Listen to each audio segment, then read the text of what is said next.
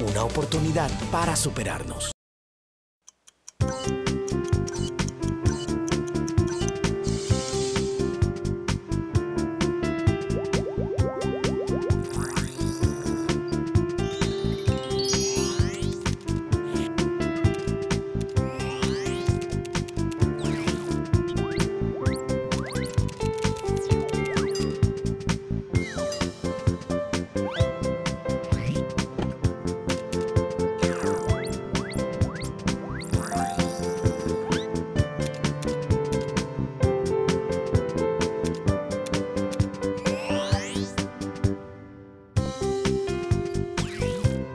Curso Nutrición y Hábitos Alimentarios Saludables. Hola, bienvenidos a una nueva clase del curso Nutrición y Hábitos Alimentarios Saludables. ¿Cómo estás, Diva? Yo muy bien y contenta de que por fin llegamos a tu clase. ¿Mi clase? ¿Cómo así? Claro, la nutrición del adulto. Adulto, pero yo soy un niño apenas. Nada de eso. En esta clase te vamos a enderezar. Bueno, entonces tráigame a la oveja descarriada. Eso es. Y de una vez la ponemos a la parrilla. Juan Carlos. Bueno, veamos qué tenemos en la clase del día de hoy. Hoy vamos a comenzar a ver la nutrición del adulto. Cómo mantener una nutrición equilibrada, requerimientos nutricionales y raciones diarias. Analizaremos la importancia de tener un peso saludable y aprenderemos sobre el índice de masa corporal. Curso Nutrición y Hábitos Alimentarios Saludables. Me viene muy bien esta clase y también la próxima. Tengo que alimentar a alguien más. ¿En serio? ¿A quién? A un primo español, él va a pasar unos días en mi casa y bueno, ya que visita Guayaquil, quiero que pruebe todas las delicias de nuestra gastronomía, pero no quisiera que de souvenir se lleve una barrigota. Él es bailarín de flamenco. ¿En serio? ¿Bailarín de flamenco? Qué interesante. Pues las próximas clases te van a venir muy bien, porque vamos a aprender sobre cosas muy útiles, entre esas cómo mantener un peso saludable. La alimentación es uno de los pilares fundamentales de la salud. Por lo tanto, no debe tomarse a la ligera. Si bien el cuerpo ha alcanzado su total desarrollo, también hay que conservarlo en buen estado y que se mantengan las reservas de óseas y musculares. Además de evitar las enfermedades que llegan con la edad, ¿no es cierto? Exactamente. Muchas enfermedades derivan de una alimentación desequilibrada. Mantener una alimentación equilibrada previene ciertas enfermedades crónicas, ocasionadas por una alimentación con alto contenido en grasas, sal y azúcares, como la obesidad, la hipertensión, la diabetes tipo 2, entre otras, y también ayuda a mejorar el rendimiento en el trabajo. Si mi primo, por ejemplo, comiera muy pesado, no podría bailar con soltura. Así es. Modificar nuestros hábitos puede parecer demasiado esfuerzo, pero con solo algunos cambios y organizándonos un poco podemos conseguir grandes resultados. Veamos cuáles son los requerimientos nutricionales en esta etapa.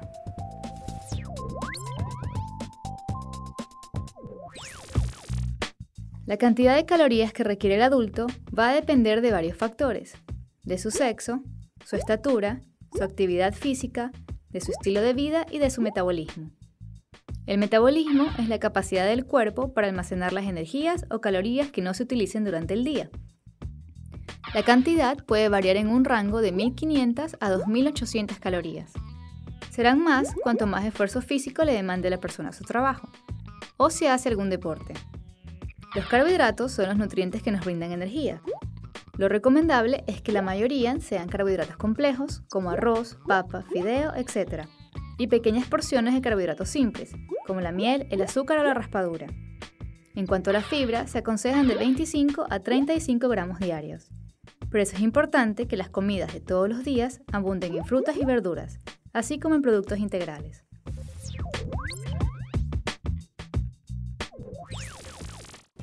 Las grasas son los nutrientes que nos dan energía de reserva y moderan la temperatura corporal. Ah, excelente. Mi primo necesita mucha energía, así que le prepararé platos bien grasosos. No, no, Juan Carlos, no funciona así. Es recomendable que las grasas integren un 30 a un 35% del valor calórico total. Este porcentaje además se dividirá en grasas saturadas, poliinsaturadas y monoinsaturadas. Las grasas saturadas son las que se encuentran en la piel de animales, manteca de cerdo, etc. Deberán ser menores al 10% o en lo posible evitarse.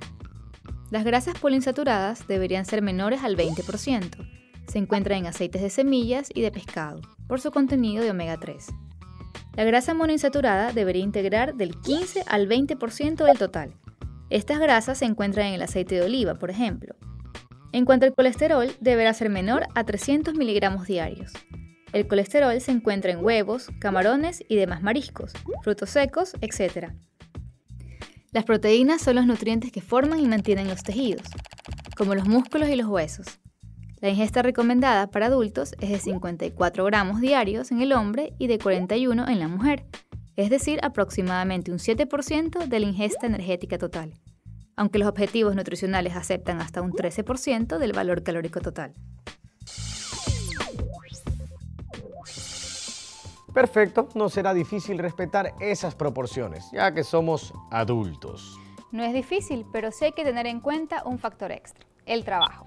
El mundo laboral influye sobre la alimentación, desde el lugar que tenemos para comer, la cantidad y el tipo de alimentos, o los horarios con que contamos para alimentarnos. Siempre tenemos que intentar no comer mientras trabajamos, para que la digestión se dé adecuadamente. Mi amor, ¿será que me puedes llevar el almuerzo al trabajo? Por supuesto, mi vida. Es que es importante que comas también muy bien en el almuerzo, no solamente en la cena. Mm, carbohidratos y fibra. Mira, mira, yo me conformo con un sanduchito, con una porción de fritadita, un sango, un locrito. Mira, mejor dicho, me conformo con la carreta de la esquina. Nada más. Pero, ¿y no quisieras esta rica comida sana? Claro que sí. No hay ninguna carreta, es mentira. Yo prefiero de esa. Ah, muy bien, eso está mejor. Entonces tráeme una tarrina. Claro que sí.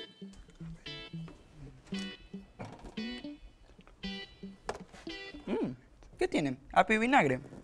¿Te gusta, hijo? Bueno, leí en el libro que puedo condimentar la comida con vinagre, en lugar de ponerle tanta sal y tantas cosas. Aquí. ¡Ay, Pepe! Es importante cuidar la calidad, pero también la cantidad. Ah, una más grande. Ya. Mamá, me parece maravilloso cómo papá y tú han progresado tanto. Sí, la verdad pensé que iba a ser un esfuerzo sumamente terrible, pero la verdad no ha sido tan complicado. ¿Puedes dejar de comerte la comida de tu papá? ¿Mm? Te voy a preparar el desayuno, mi amor, ¿ah? ¿Qué? ¡Basta!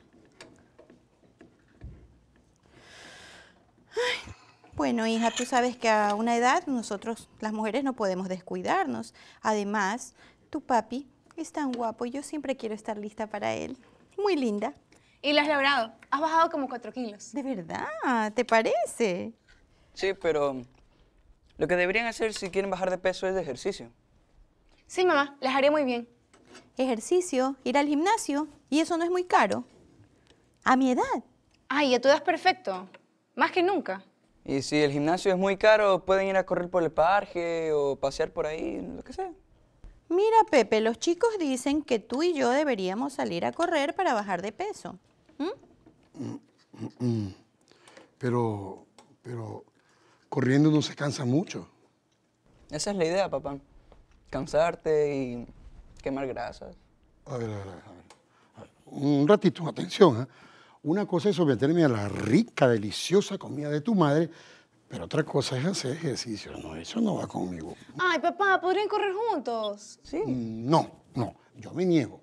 Eh, Me acordé, algo importantísimo. Me acordé, tengo que cepillarme los dientes. Yo vengo. Bueno, parece que mi, mi papá ya empezó a correr, ¿no lo creen? Sí. Cuando volvamos del corte, veremos la importancia de tener un peso saludable. Para lo cual es importante tanto una dieta equilibrada como una buena cuota de actividad física. No se vayan, ya volvemos. Estamos viendo el capítulo 15, Nutrición del adulto, parte 1. En la próxima clase veremos el capítulo 16, Nutrición del adulto, parte 2.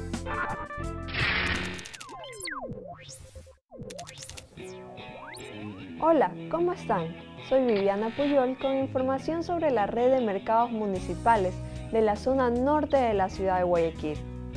De los nueve mercados de esta zona, hoy vamos a detenernos en cinco de ellos. Los mercados de Bastión Popular, Sauces 9, Sauces 4, San Jacinto y Pascuales. Veamos la zona norte de nuestra ciudad en el mapa. El Mercado Bastión Popular se encuentra en el bloque 2, manzana 610 de Bastión Popular. El Mercado Sauces 9 queda en la calle Dr. Antonio Parra Velasco. Este concurrido mercado cuenta con varios puestos de venta de genéricos, proteicos, pescados y mariscos.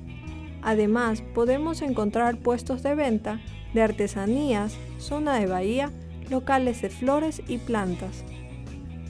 Ubiquemos otros mercados de este sector. El mercado Sauces 4 está ubicado en la manzana F367, en el entorno de los bloques multifamiliares de esta zona. En la avenida 37 Ava Noroeste, 19H y avenida 36 Ava Noroeste se encuentra el mercado San Jacinto. Sigamos recorriendo el mapa de la ciudad. También podemos visitar el mercado de Pascuales en las calles cuarta y novena de este sector. En todos estos mercados, usted puede adquirir los alimentos de la canasta básica al precio justo y peso completo. Todos ellos atienden de 6 de la mañana a 4 de la tarde. Las modernas instalaciones de los mercados municipales cuentan con parqueos para su clientela, operadores auxiliares y servidores públicos, con servicio de transportación de carga, con camionetas fleteras, taxis y tricicleros.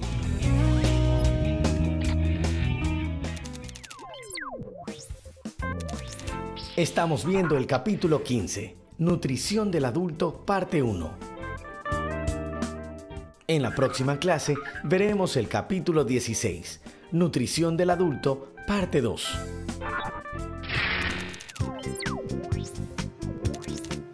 Hola a todos y bienvenidos nuevamente al curso Nutrición y Hábitos Alimentarios Saludables. La licenciada Sotomayor estuvo explicándonos la importancia de la alimentación balanceada en adultos y los requerimientos nutricionales.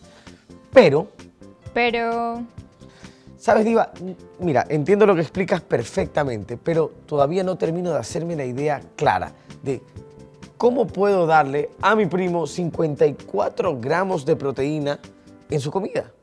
Claro, no es tan fácil calcularlo, por eso a continuación vamos a ver cantidades, porciones y frecuencia de consumo según cada grupo alimenticio. Ah, genial, vamos a ello.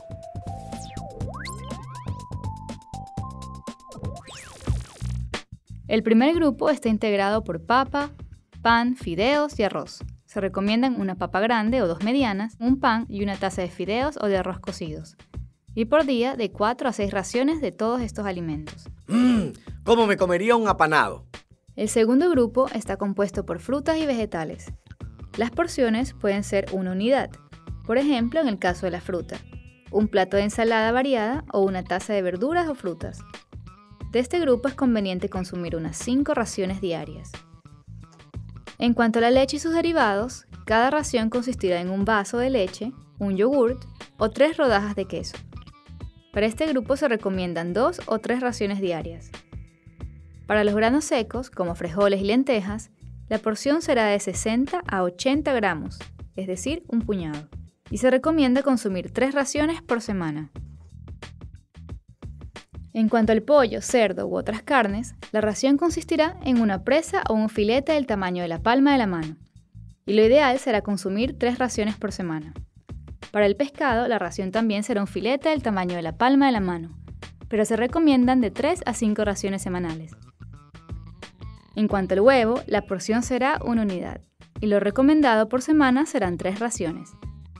Para los frutos secos, la porción será una cucharada, y por semana se recomiendan consumir de 3 a 4 raciones. Por último, en cuanto a las grasas y aceites vegetales, la porción es una cucharada, y por semana se recomiendan de 3 a 5 raciones.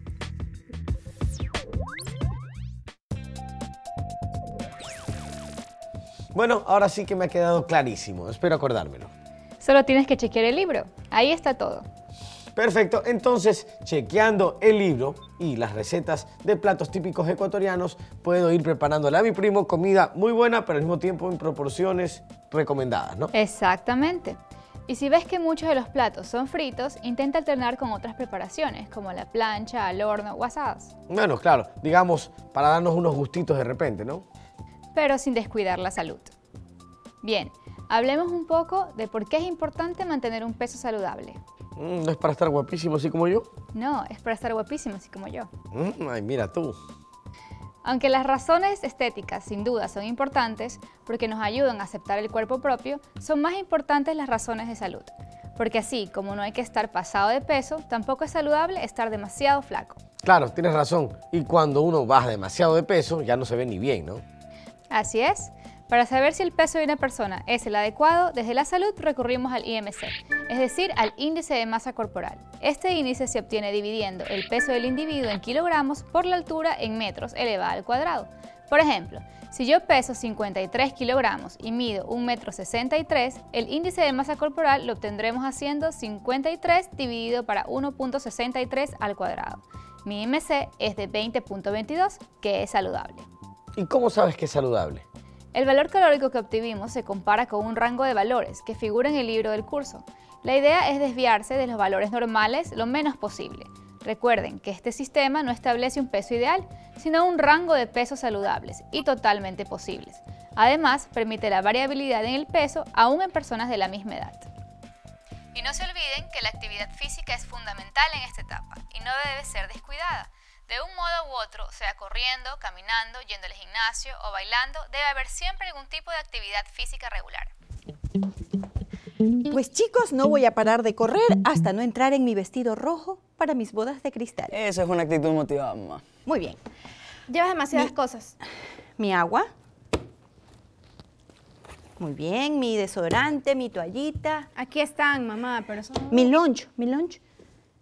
Sabes, creo que no deberías llevar eso. Es... Por favor, mis medias de repuesto, mi azúcar, por si acaso, para la presión, y mi musiquita, por favor. Mamá, ¿en serio no quieres que te preste mi celular? Tiene MP3, acá llevas como 10 CDs. No sé usarlo, amor. Mi billetera, mis documentos y mi agüita caliente. Muy bien. ¿Te vas a correr o de campamento? Llevas todo, pero te va a pesar demasiado.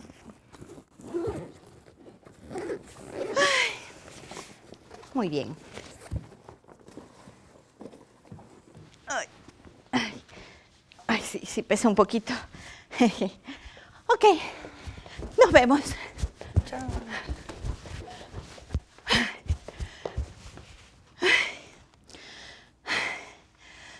Ay, ay, chicos, la verdad es que estoy muerta.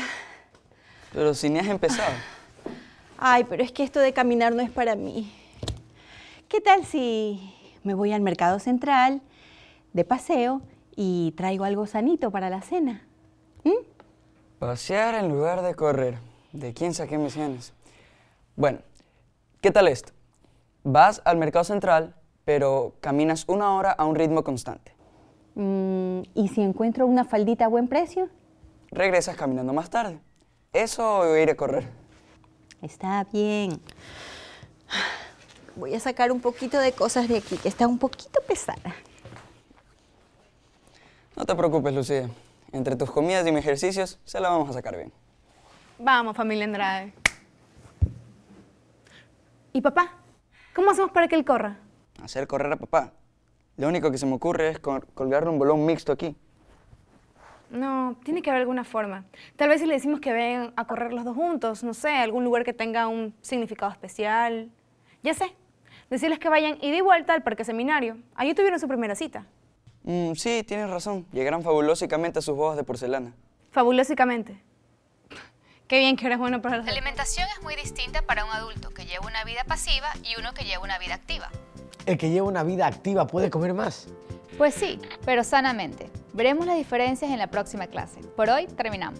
Bien, ahora vamos a un corte. Al regreso estará la doctora Carmen Gerbener de Ortiz respondiéndonos algunas dudas. Ya volvemos. Hasta la próxima. Estamos viendo el capítulo 15, Nutrición del adulto, parte 1. En la próxima clase veremos el capítulo 16, Nutrición del adulto, parte 2.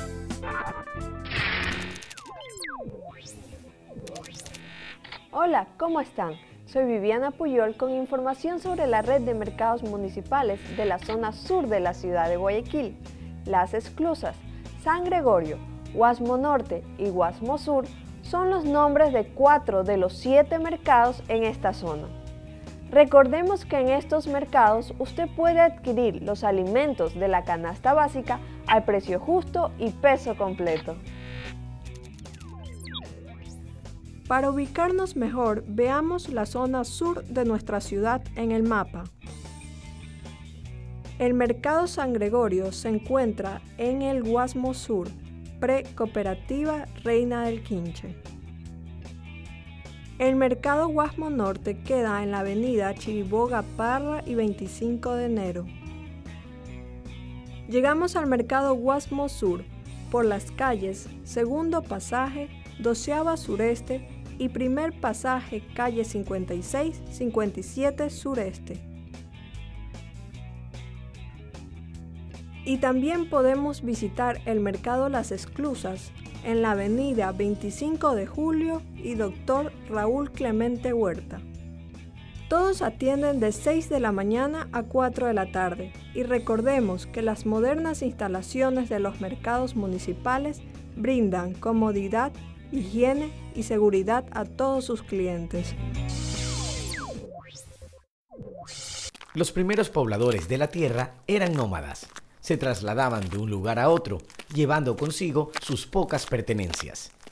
Estas comunidades se alimentaban de la caza, de la pesca y de lo que cosechaban al paso, ya que no se establecían en un lugar por mucho tiempo. Con el paso del tiempo, estas comunidades dejaron de viajar sin rumbo y se asentaron para cultivar la tierra y criar animales para poder alimentarse, y de ese modo saciar el hambre. Siglos más tarde, hebreos, griegos, romanos, árabes y chinos estudiaron la alimentación en profundidad al punto de descubrir que estaba íntimamente ligada a la salud. Es decir, que los seres humanos, alimentándose bien, podían recuperar la salud o mantenerla en perfecto estado. A través de los tiempos se han usado distintos esquemas para representar la importancia de una buena nutrición mediante la ingesta equilibrada de alimentos. Entre ellos están los esquemas tipo pirámide, creado por instituciones científicas de diferentes países. Una de las más modernas es la pirámide de la estrategia NAOS del Ministerio de Sanidad y Consumo del Reino Español, que pone énfasis no solo en el consumo equilibrado de alimentos, sino también en la necesidad de realizar actividad física y de consumir agua a diario. Teletutoría Continuamos con el curso Nutrición y Hábitos Alimentarios Saludables de Aprendamos. En este capítulo estamos aprendiendo los temas relacionados con la nutrición de las personas en la e-, etapa de adultez. Y para responder algunas de las inquietudes que nos han llegado a nuestro centro tutorial, nos acompaña la doctora Carmen Gerbener de Ortiz. Bienvenida al programa, doctor. ¿Cómo está Juan Carlos? Un gusto de estar aquí nuevamente. Bueno, como siempre, el gusto es nuestro. Muy bien, comencemos entonces con la primera pregunta.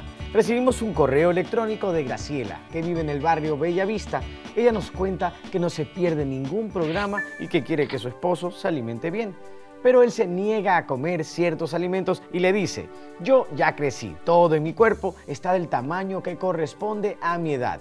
¿Por qué debo seguir comiendo alimentos que proporcionan proteínas y calcio?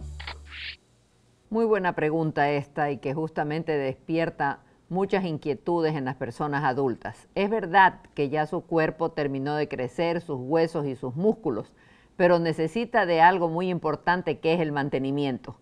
Así como un carro necesita ser bien mantenido para ser útil y para que siga sirviendo, como por ejemplo con el cambio de bujías, el control de la gasolina, el cambio de aceite, etcétera, el cuerpo también necesita recibir alimentos que tengan proteínas y calcio para que estos se mantengan en perfectas condiciones y sigan funcionando muy bien.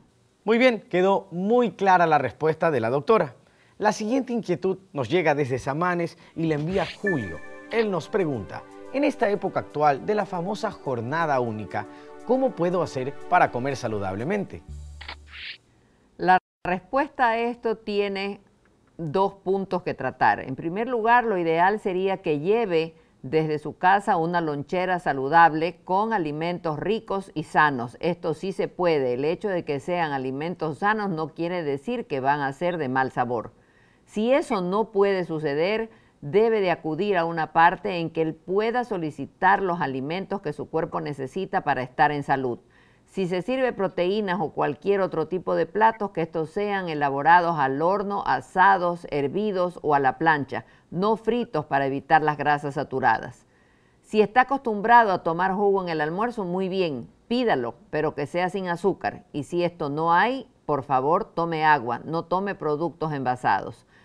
Si va a servirse un alimento que contenga hidratos de carbono, ya sea arroz, papa, fideo, yuca o verde, Recuerde a la hora de lunch, en el almuerzo, en la merienda o en el desayuno, solamente uno de estos alimentos. ¿Cómo es eso, doctora? Bueno, eh, lo, que, lo que acabo de mencionar en ese instante, si yo ya como yuca, no como verde, ni papa, ni fideo, ni arroz. Si como arroz, no como ninguno de los otros. Siempre uno del grupo de elementos energéticos. Entiendo. La última pregunta nos la hace Victoria, que llamó a nuestro centro tutorial y nos dejó la siguiente inquietud.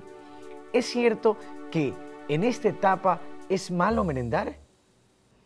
Esa es una pregunta que hacen las personas que quieren supuestamente bajar de peso, que el comer antes de dormir engorda, es lo que más comúnmente se escucha. Es imprescindible que la persona tenga una merienda saludable, que no tenga una recarga de productos fritos y especialmente que coma por lo menos unas tres horas antes de dormir. Recordar que si yo como de manera saludable en la merienda, voy a tener incluso un sueño apacible. Muchas gracias, doctora, por sus maravillosas respuestas y siempre bien atinadas, ¿no? Bueno, espero haber absuelto todas las inquietudes que hayan tenido los telespectadores el día de hoy. En la próxima clase continuaremos aprendiendo sobre la nutrición en la etapa de adultez. Recuerden que como usuarios del curso, ustedes cuentan con la asistencia gratuita de nuestro centro tutorial. Pueden consultar sus dudas e inquietudes a través de cualquiera de las vías de comunicación que vienen apareciendo en este momento en pantalla. No duden en hacerlo. Nuestros tutores estarán gustosos de atenderlos. Esto ha sido todo por hoy. Los espero en la próxima clase o el próximo capítulo del curso Nutrición y Hábitos Alimentarios saludables. Chao.